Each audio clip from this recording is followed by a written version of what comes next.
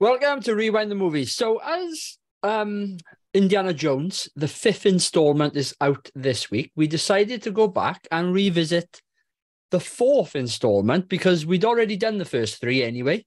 And although this is probably a little bit later than what we would normally do, um, what's this, 2008? Um, yeah, we're going back to the Crystal Skull. Um, and ever seen the the newer one, so it'd be interesting to get his thoughts. I don't know if JP has seen it yet. I get him with his fancy cup. Um, I thought I thought it was a black dildo to begin with. yeah, it's the uh, it's the new trend in fedora butt plugs. That's what it is. um, yeah, so I remember watching the Crystal Skull. I think I went to the cinema to see it, and I wasn't impressed with it at all when I first saw it. I came away hating the film, and um, so last night was the first time I'd seen it since that day. So what's that? 15 years later. And we, will come on to it in a moment, but I've mellowed slightly on it. And we've had previous conversations in the other podcast as well. And I think Prog, um, I remember you brought up a topic uh, on it, and I said what I didn't like about it was the alien aspect. And we had a whole conversation, which we'll probably go into again this time. Um, and like how I, I was accepting of like religion and the supernatural element of that, but I wasn't necessarily like um accepting of the the the alien aspect of it. But anyway, like yeah. I said, we get into that. I and I, my main point was which one sounds more believable right now, given everything exactly, yeah, exactly. So yeah, I've mellowed slightly on the film. Um, I watched it, like I said, last night, or maybe the night before, whenever it was, and I tried to see it for what it was trying to be and what it is, and that's an indie film. Hmm. Indiana Jones film, not an independent film, obviously. Um, so yeah, over to you, you guys. Prog, when did you watch it, and what were your initial thoughts on it? Uh, well, I did. I didn't go to the cinema to watch it. I waited until it came out but I did watch it as soon as I could. Um, do you know what? I think I. Do you remember uh, Love Film? Yeah. Oh, yeah. Do you used to used to have the used to order uh, used to put a list, and they would send yeah. you the DVDs or Blu-rays when they had them in in check or stored in there, and you could have five at a time. I think it was. Yeah. yeah. Well, I, I'm pretty sure this was uh, one of those, and um, I think when I first watched it, I was conflicted. I was like, I wanted to watch, I wanted to like it so much, but I almost couldn't because of what I thought was wrong with the film. Uh, but I have actually rewatched this film a couple of times since, um, and I've watched it. I've rewatched it twice, and I've watched it half the way through once because I was meant to be going out and as you boys might be aware, when you're waiting for your partner to get ready, um, they take a little bit longer sometimes, don't they? So you end up watching an hour and 20 minutes of a film when you were supposed to go out when the film started. Anyway, uh, that might be one of the reasons why I'm not with a, a partner anymore. Uh, but I ended up watching half the film. And every time I've rewatched it, I've actually liked the film more when I've rewatched it. That's not to say there aren't still problems, and that's not to say I'm still going to recommend the film. We'll have to wait till the end for that. But all I'm saying is, is that I don't think this film is anywhere near as bad as a lot of people make out it is. Oh, yeah, it was going to be my point that we'll come on to. I think I jumped on the bandwagon of people not liking it um, for various reasons. But uh, yeah, what about you, Ev? Did you watch it? On, sorry, sorry before before you go into it, can I just can I just say I think there's one element in particular that doesn't help this feel like a true indie film, and it's the special effects. Uh, yeah, we'll come on to the special effects. Yeah, specifically on, the jung- sorry, jungle scene. Um, yeah. we'll come on to that bit, I'm sure, at some point. No, um, I'd, um, I think I went to the cinema to watch this first off, and like you, I was just like, "What is this? This is it, it's it, it. It was almost it was almost as bad as when I when I watched the the, the Ghostbusters Answer the Call thing. I just thought they oh they've shut on the whole franchise big style. I was I, you know throwing me toys out the pram. I was like, oh. um, but I watched it today earlier today, and I, it's yeah it's not as bad as um as I thought. To be honest, it was. It granted it's not a patch on the on the original three, but it's not it it's nowhere near as bad as what I first thought. And um, even like even the action sequences. I mean, how how old was he at the time? Was he he was six? Was he 65? 63, 65, yeah, something like that. Yeah. He's, Um, he's built in it. No, there's one scene. uh, Maybe he hasn't got a top on, or he's got he's showing his arms, and he's Yeah. like proper built. There's a scene where they're washing him down after the, after the nuclear explosion, aren't they? It might be that one Yeah. then. Yeah, Yeah. and he's he's in decent nick for a Hey, sixty. he- year he's in better nick than I am, and at that point, he's got twenty years of me. Yeah, Probably, probably better nick than now, and he's got forty years of me. Well, it, it's there's um there's a scene because obviously I was getting this from the I went to see the new one last night, and um there's a scene in, there's a topless scene in that as well, and even at bloody eighties, oh he's Ah. he's like an Adonis compared to compared to me. Oh, When you got when you said a topless scene, then I got a bit excited. I you meant like eighties boobs. But, no. yeah, his his eighty year Eighties old. boobs, yeah, yeah, Yeah, different type of 80s boobs. oh, right. Come on. Let, let's. I, I. There's some things that I'm going to say about this film a little bit later with my changes, but I do want to like focus on some of the good aspects of it. And I, again, like I said, I've only seen it twice, 15 years apart. But I started watching it um, whenever it was last night, night before, and the bit that I t- didn't take up from the first time, but I meant I um thought of it this time. But I think the score is really good. It's John Williams anyway, but it brought me back watching it, and um, yeah, it, it, it was it was really good aspect of it. It just I had that little fuzzy sort of indie feeling, if that makes any sense. You know, when you what you you, you just brought me back, and I wish I'd had it the first time round.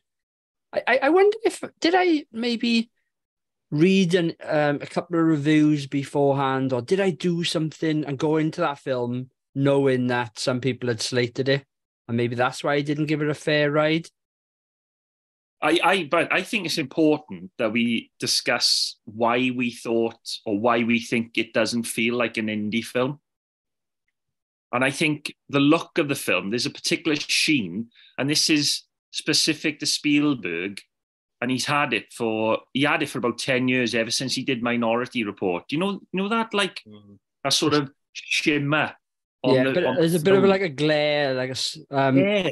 it- It's not as bad, but did you ever see the new Star Trek movies with Chris Pine? That had like it's Yeah, called is, yeah. is it called a solar glare or something like that? It's not as It's bad as that. I'm not saying, called but. Yeah, yeah, that's it. But it's um, I know what you mean. There's a certain look, and it looks a little bit too. Is it pol- Polish. Polished, yeah, maybe.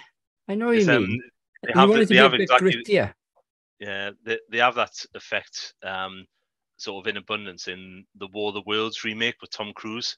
That Yes. that if you that if you i- in particular the scene where where the tripods coming out of the coming out of the street, that whole that whole scene there, that's yeah, that's That's a great section of filmmaking. You know, I, what I will say is right, but I haven't got a problem with, like, say, Minority Report and War of the Worlds. Those are two films where the the lens flare and and the sh- and the sheen of the film uh, is, you know, paramount, uh, different to what Spielberg did before. I think because the first three indie films were so practical, like everything was done in camera apart obviously from the ending of uh Raiders of the Lost Ark. That's the one Ray does, yeah. Um uh, but you I think that's why when you watch this film, because it looks different, you're automatically like on the back foot with it being an indie film. It's not supposed to look that way. I want an indie film that looks like what it did in the 80s. Yeah. and and I think it's it's almost like several diff- little differences make you think that yes, it's an indie film, but it doesn't feel like I'm watching an indie film. So if we take the aliens as an example, right? The aliens are the plot of this film, or the Crystal Skulls. When you think about it, right, all of the indie films are something in the magical realm, or you know, uh, you know, something that not the norm. You know, the supernatural. So in all honesty, aliens shouldn't be that much of a stretch compared to uh, a magic cup or an ark that kills all bad things, right? I, I, I think, think- go on. So I, I was just going I just want to jump in. I think the issue I had with it, the other films had been religious, even Temple of Doom to a certain degree. And then there was just this jump to it being this. That's what I was going to say. I was going to say, I think the difference is, though, because everything beforehand was religious based, and this is outer space or, you know, However you want- interdimensional. So it's not spacemen, Yeah. it's interdimensional, which I didn't pick up the first time. It was only this time watching it. So what what what do you think would have been better? I mean, you know, if we spitball ideas, would it have been better if he'd gone after the I don't know, what was Arthur what was King Arthur's sword?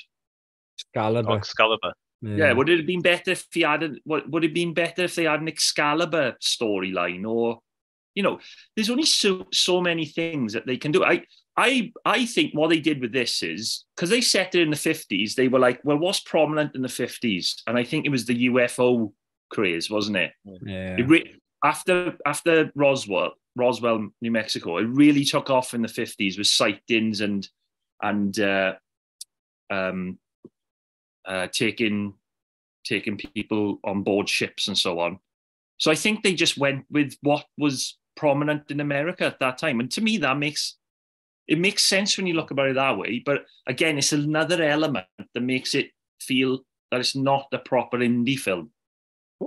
the, the storyline around interdimensional aliens was something that Lucas toyed with for a young Indiana Jones Chronicles episode, but it was never Okay. used. So it's um you know, and uh, no doubt when you, you know these guys have created these universes, you know, whether it be Star Wars, whether it be Indiana Jones, so no doubt, you know, they they've got like probably reams of like ideas of where they wanted to go with some of these. Yeah. Um, and I've mellowed, on- like as I said, on the idea of the aliens. It's it's not, yeah, that's not the worst thing in the film for me. Well, let me ask you this, right? Even though the film's about aliens, there's not a lot of aliens in it. No, it's only the end bit. No. Yeah. Yeah. I mean, you see the alien body when they're at that camp in the jungle, but even even the way that's filmed, it's quite. To me, that felt like an indie film. That scene Yeah, because of the way it's shot, and it's almost like it doesn't like it's, it's not like looming over the alien. Like, yeah, we got an alien in the film. It's almost like shows you the alien, then it's off, and it's about the character interactions again. So Mm. yeah, it's only the ending when they're in the the uh, the Mexican pyramid that it, it goes a little bit. Well, you could say it goes a little bit too far, but in terms of the plot or what the plot's supposed to be and how they've laid it out, it does make sense to the plot and where it's Yeah, yeah. supposed to go so much. Like I said, I've mellowed on that aspect. There's uh yeah, there's definitely uh, other things that, that that brought up. But I, I I'm glad you mentioned it now because you are right. The alien aspect is very little in the film anyway, and there's that one scene where they talk about how they bandage babies' heads and kids' heads to give them an elongated skull. So you know, it's sort of like trying to um It's starting to work in the folklore and also but, and also justification for why that yeah, but is like it is. yeah they're yeah they're trying to give some sort of um, plausible alternative to whether it is an alien skull or whether it's a human skull and it's just been forced elongation of the skull. Yeah. I if you can do that with other parts of the body. Well, you can do it with your neck, can't you? You know, you see the people who have the rings around their necks. Yeah, yeah. I always wondered if they ever take then those off, do their heads just like a like bobbleheads, just like lean over to one side? oh, Well, and the other one is your earlobes. You know, people. Yeah, but hang, hang on a minute now. I don't think they can ever get those off, can they? I don't know. Surely they must be able to. Yeah. Well, I, do they get I, am going to Google it later to see if there's a picture of someone without them on. How do how do they get them on? Should surely Yeah. surely they'd have to clasp at the back or something. I don't know. Yeah, yeah. Right, come on. What else have people got? Favorite aspects? Harrison Ford. oh, go on. What Yeah, was yeah, that? Harrison- Harrison Ford. Yeah. I'm gonna, I'm, gonna, I'm gonna say it now. I think Harrison Ford might, might be the greatest movie star of all time. Oof. He's, he's got some of the Oh, some of the biggest franchises. I'll give him that much. I, I think Harrison Ford is underrated as an act, as an actual actor. I think I think Harrison Ford can seem effortless when he's delivering dialogue or certain looks or you know like that. Know the little moments that I, well personally that I think make an actor one of the better actors. I think Harrison Ford nails the majority of those that he gets in. Not not just this film, but like all other films. There was a moment in Crystal Skull. I, I only noticed it this time watching it because we hadn't lo- we hadn't long watched um, Last Crusade, and there's a line and the delivery of the line where Harrison Ford says exactly the same thing as his father said in Last Crusade, and Harrison Ford says it the way that Sean Connery said it in the film as well. And it's when he's talking to Shia LaBeouf's character, who eventually turns out to be his son. And I Mm. just I found that really interesting and actually quite poignant as well, because obviously you'd love to see Sean Connery in the film again, but Well, funnily enough, him and Sallah were offered roles in the film, but Oh, Sean right. Connery at this point had retired, and he, he didn't fancy it. And I think both him and Sallah though did, did say that not Sallah, what's his name, Reese John Rhys John- John John Rhys Rhys yeah. He, he they said that the roles weren't big enough and to do the character justice, so they didn't want to just come back for a cameo. Yeah, I think Sean Connery said this would have been the only film he would have come back for, apparently, innit? I think. I'm not sure. if but- if they had written a better part for him, I mean. Although we did have a slight cameo from Marcus, admittedly in portrait form, but that was a Well, little. ha- and- Sean Connery's on his desk as well, isn't it? yeah. Well, they, they have um they have a few sort of nods to to Marcus in particular because obviously the- there's the painting on the on the corridor in the in the college, and then there's this, obviously the the photo on his desk, and then the statue um outside as well. So That was the moment, Dev. You just reminded me. Thank you. Do you know when Shia LaBeouf runs the bike into the statue and the head falls onto the lap? Yeah. oh Shia- yeah, the, yeah. Shia, La- Shia LaBeouf is laughing. Harrison Ford looks at Shia LaBeouf the way Sean Connery looked at Harrison Ford after Harrison Ford had jammed that uh, flagpole into the Nazi uh, bike, the send is spinning, and Harrison Ford laughs and Sean Connery gives him the disapproving look. I love those little touches in films, see. Shall we move on to favorite scene? Unless anyone's got another burning Oh, I favorite. haven't, even, I haven't even done mine yet. on Whoa, whoa. Well, I thought you Um, might have had Harrison Ford. No, no, it's a prog, prog nipped in there. You, he went straight in with a big one. Um, no, I, I, I quite liked the, I don't know, the nostalgic touches, like the, like the old credits at the start, like the old Paramount logo, and um, the type, the the typeface of um, when when there's when it's the the opening credits and stuff is the same as Last Crusade and all that, um, and um, the yeah the the the red dot and the line going like on the map. Yeah, you always look for you always look for that in, a, in Yeah. an indie film. It wouldn't be an But, indie um, film without it. I know. Do you see And, how far down they had to go and then to come back up this way? It was like there, there, and then it was all the way over there. It was like it was almost like why that line that they went down was almost the same distance if they'd gone that way. just wanted to sleep, didn't he? Um, Yeah. but I, I quite liked there's there was one there was one sort of shot in particular where right at the start where they where they pull him out the car and it, it- it's it's like a nice little light and shadow effect on the car door when he when he puts the hat on and you hear like the theme music in the background. I thought, oh, you know, it was uh, it was, it was quite nice that. And uh, and for those neighbours fans, Jim Robinson is, gen- Yeah, is the yeah. general. Yeah. And the janitor from Scrubs. Yes. Yes. Yeah, at the beginning. right? he's not only the janitor in Scrubs, Scrubs he's also the policeman in the fugitive in the in the subway. I, I only remember that because there is a Scrubs episode about that, saying that the janitor, I can't remember his name. I think it's just janitor. Um, he, um, yeah, they, they, they see him in the the fugitive film in in while in Scrubs, if that makes any sense. Um, and yeah, they try to like piece together his life. So Wow. Um, I got another cameo. You were, you probably wouldn't have seen it unless you knew about it.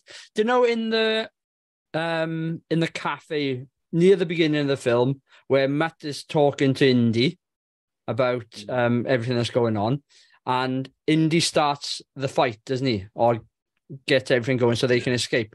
The girl that punches Matt is Spielberg's daughter, who is also Kate Cap. What's her name? Kate Cap, Cap Shaw.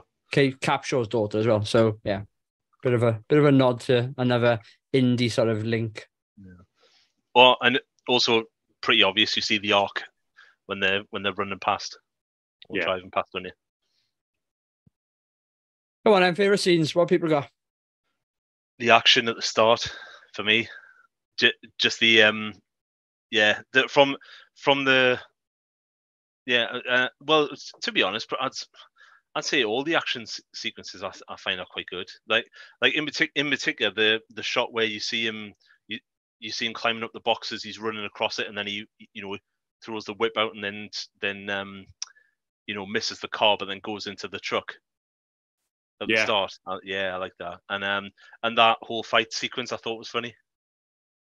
Yeah, I, I'm going to say it now. I think the opening quarter of an hour is as enjoyable as every other Indiana Jones opening. I, th- I think it's a very, very strong opening section to a film.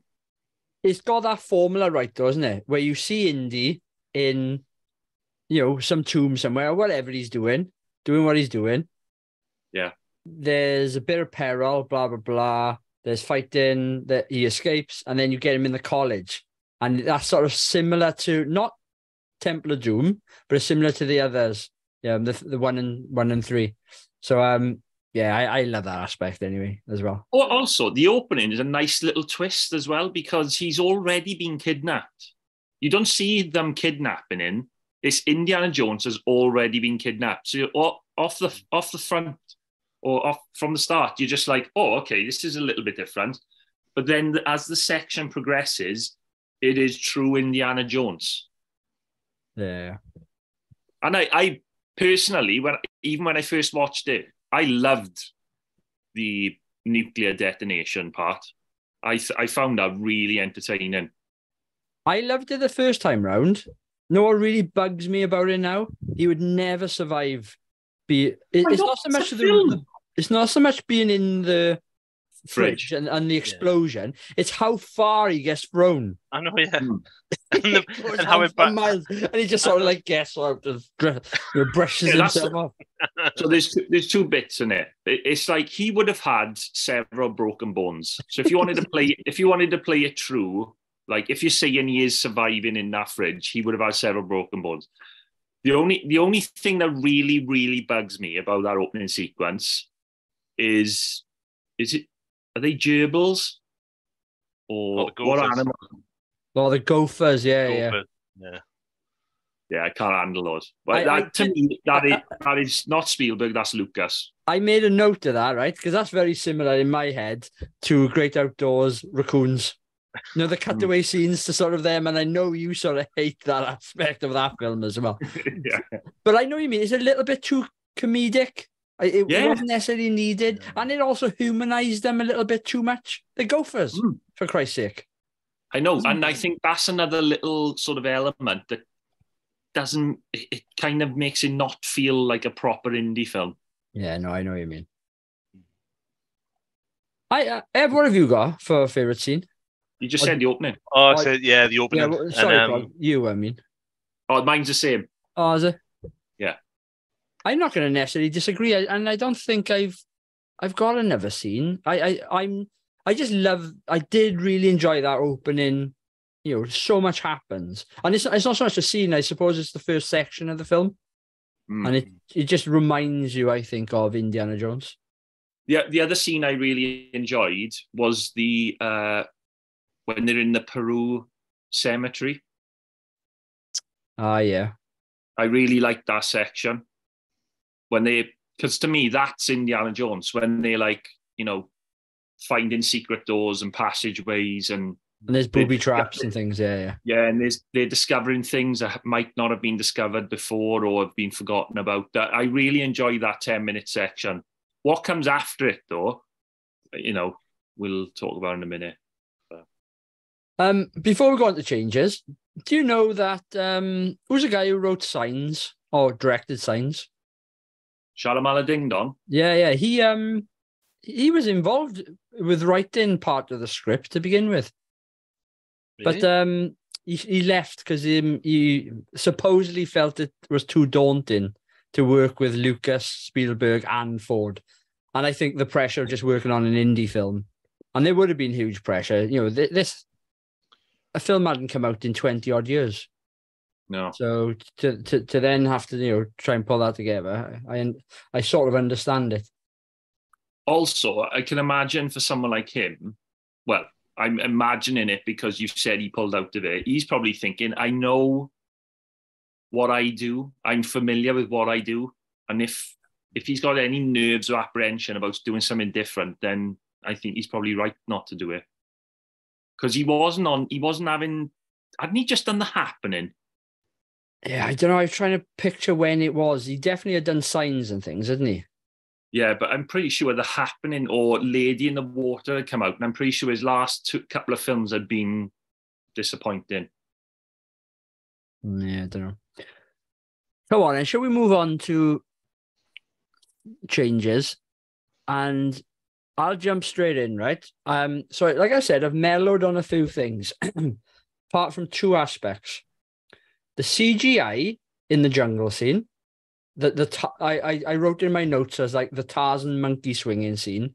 I I again I didn't get it. Don't understand why they had to try and bring in some of that humor Yeah. to and humanize the monkeys. It's uh, I, I, I yeah, I, I didn't get it. I did I it. It, it could have been a whole section that was needed, but it's not only that; it's the use of. I'm assuming it's green screen when they're in the vehicles, traveling Yeah. side by side. yeah. It, it, it for me, it just doesn't work. Doesn't work at all. So I'm going to piggyback off the back of you. Um, I don't like that particular action sequence as a whole. I think some of the elements are quite nice. I I don't mind the you know fight. I, I quite like the sword fight, the jousting between the vehicles, but I hate the monkeys. I can't stand them. I can't stand Shia LaBeouf swinging through the trees like Tarzan.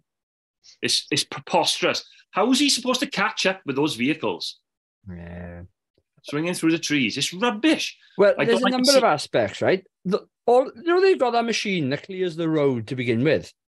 Yeah, that, that machine gets blown up in the in the beginning of that sequence, and then all of a Yeah. sudden they got all these clear roads. This is where's Yeah. that come from? yeah, Ah, and also, we've talked about this previously, uh, and I and you agree with me on this, Prog. Just f- brake, just stop the car. yeah. Everyone else goes forward, just brake. It's just come on. The other thing that winds me up as well is right. Do you know Mac Ray Winstone? yeah, Right. I don't mind Ray Winstone uh, being in it. I, I like Ray Winstone as an actor. Uh, I don't.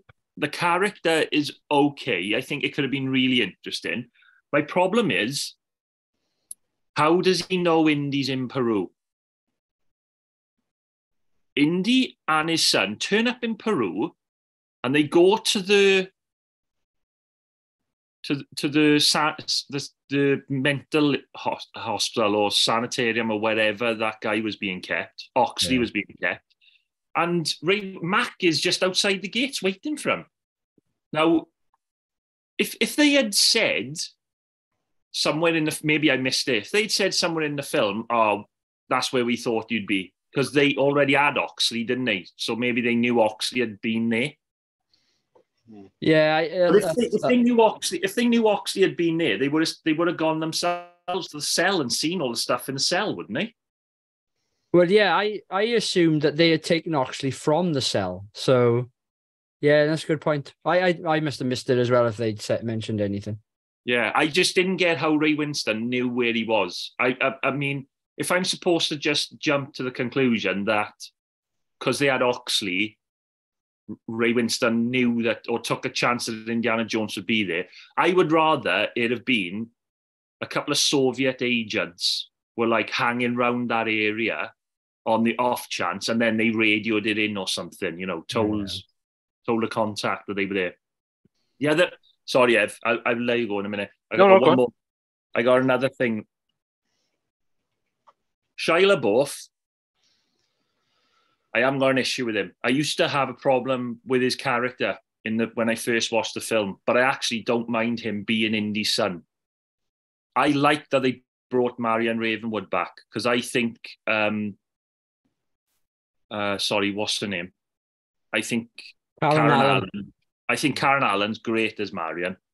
What I don't like is how ham-fisted getting them back together is, and and the married like- at the end.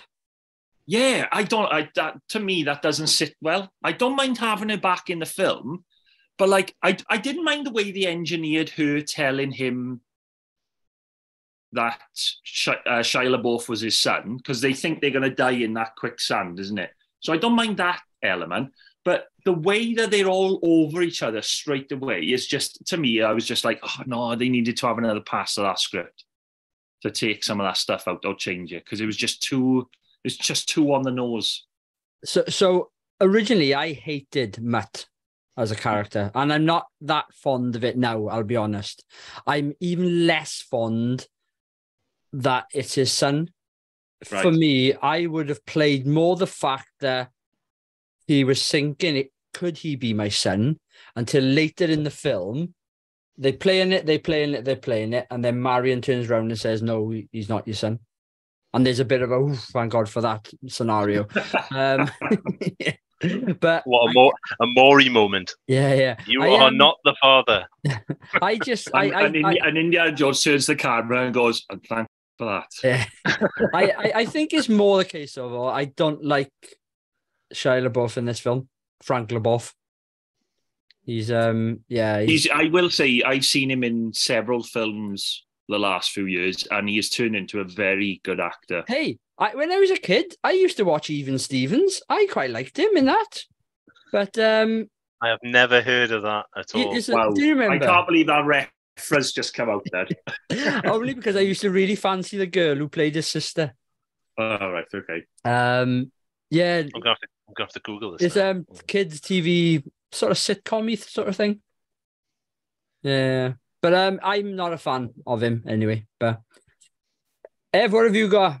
Mine for the time. Um, oh yeah, um, the fridge don't work for me. It's just no, it's just too ridiculous. It's almost like it's like the Pierce Brosnan Goldeneye effect. You, you know the you know the bit of the bit of the start where he where he drives the motorbike off the cliff and then he you know plummets down and gets in the plane and flies away. Yeah, it's too too much for me. Can I um, ask a, a question about that sequence quickly? Why do they have the TV and and the hose running in that fake town? Yeah. There's no one around, and they have a TV on, and they have a hose going on. So someone's gone around and turned all that on because it gets obliterated. It's not like it's a let's see how it affects the TV afterwards. It's gone. So anyway, there's my there's my gripe. Maybe that's Um, why they left it on to see what would happen. Yeah, yeah, but then, unless they didn't expect that entire thing just to be like it is, I don't know. But Well, it, it, the explosion is it's not the same as the atom bomb, is it? It's a different bomb. Isn't that an atom bomb and not a nuclear bomb? I don't really No, the know. one, the one in 57 is a nuclear detonation. I'm sure the one they they used it before and during the war. Ah, was right, an atom bomb. Yeah. Okay, it makes sense. And that, well, that's why he's in a lead line fridge as well, in it to stop the radiation. Yeah. What, what else have you got, Ev? Um, just uh, I, I don't know. I think it, the the whole alien thing was a bit is is still a, a little too far fetched for us. It's I, I I could I could have got on board with like with a religious type of thing, but I I, I don't know. It's How were you with the new film, Ev? have you seen it? No, I I, haven't, but I know Oh. kind of what it's about. So, Yeah. without going into too much detail or spoilers, how did the new plot device? Um, not that great to be honest. Um, Isn't is the new film worth watching, Ev? it it is. It's all right, but it it just it it wasn't it wasn't needed. I don't think, and I think, but I, g- I- it's James Ma- James Mangold direct directed it, and he's done like he did Walk the Line and Logan, which are, are brilliant films. But it would have been ten times better if Spielberg would have done it. I think Mm. Um, because of the style and the, and the you know and all that. Um, but yeah, I can't. I, I, I want to talk about it, but I can't get spoilers away. It's yeah, yeah. yeah, it, it's it's all right. I think if if I'm if I'm nicking like marks from Adam, he'd probably he'd call it a five, maybe a six. He, he gives everything a six. Uh, Right. Oh well, if that's a, ca- if that's the case, he'd probably give this a four and a half. Four. Yeah. Well, uh, in Adam's case, then that's better than ET. Half a pint better, isn't it? Did you give it a four? I think he, yeah, I think he bumped ET up a mark after we saw Mac and me, didn't he? right, Ev, what else have you got, buddy? That's it. I've got one last scene. The snake rope scene in the quicksand. Ah, I've, I've forgotten how much I hated that scene. It's just like they've bloody shoehorned in the fact that Indy doesn't like snakes and we've got to know it in every film. I know we do, but it's just, oh, oh, crap. yeah, I gotta be honest, I didn't mind that. Ah, It- it's just, it was it's quite- just preposterous that the only thing you can find, okay, bear in mind they're in a bloody jungle, is a snake, and the th- fact that he thought, oh, I'll throw this snake in to get he him couldn't find a vine or a Yeah, branch. yeah. He was he's Yeah. swinging on some in about five minutes' time. yeah. Never mind. Yeah. All right, then. Going on to our final question. Would you recommend Ev? Oh, no. Prog? I wouldn't because I think they're a def they're three better Indy films. I wouldn't say Temple of Doom is that much better than this personally, but I would say, hang on now, calm down. What? I would say I think the first hour and ten minutes of Crystal Skull are really, really enjoyable. After that, unfortunately, it starts falling apart. I'm really torn. I don't know. I, Oh, I, there I he want to recommend it, but I want to recommend it at the end. You know, say watch all the other indies first, then this one. But I Mr. Fences is yeah, back. yeah. Yeah. but I, I, I'm, I'm, yeah, I can't. I, I don't think I can. I can't recommend it. So, Okay.